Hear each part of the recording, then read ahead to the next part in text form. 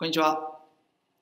5スター子どもスクールの阿部です。本日の子育てのヒントは、自分の行動を止めてしまうブレーキ思考、まあ、10個あるって話で、まあ、その7ですね。今日は感情的思考、あ、すいません。感情的思考です。感情的思考。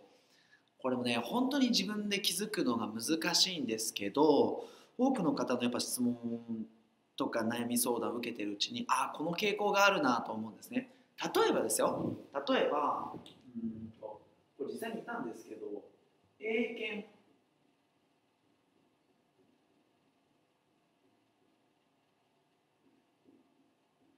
英検1級を持ってるのに私は海外では通用しない。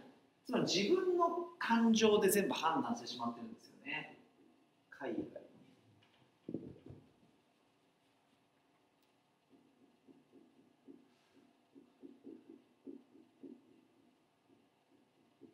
で僕はこれ英語のプロじゃないからわからないんですけどでもあの英語の関係者から言ったら TOEIC 満点より英検1級の方が断然難しいらしいんですよ。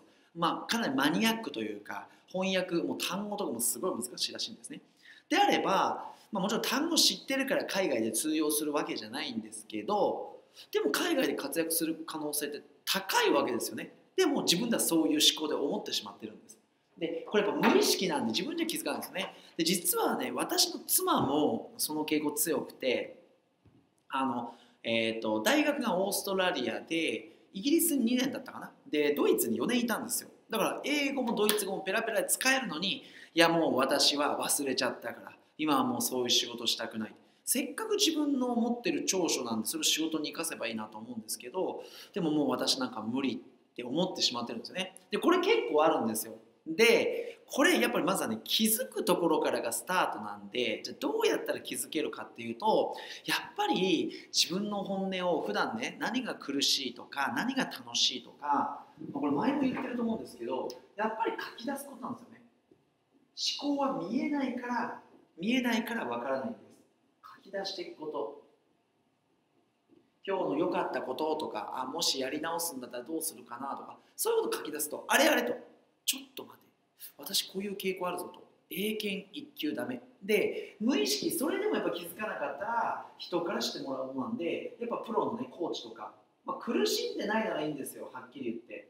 この思考で。だって別にそれで幸せだったらそれでいいわけじゃないですか。大事なのは幸福度なんで。こうしなければならないはない。でも書き出していく上でもなんか今人生が苦しいぞおかしいぞと思ってるんだったらやっぱ誰かがプロにコーチをしてもらったりとか本当誰か話聞き出してもらってあこういう傾向がある気がしますよ。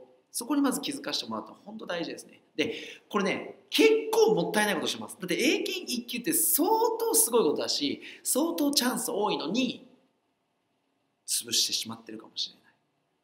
これはもったいないですよね。すごくもったいないです。ですがもしね、いやそんなことないなって思いがちなあなたでも自分の分野だと特に過小評価したりとか自分の感情が全てって思いがちなんで、ぜひ一度ね、ほんと書き出してもらうとか、人と話して指摘してもらうとかやってみてください。本日の子育てのヒントでした。ありがとうございました。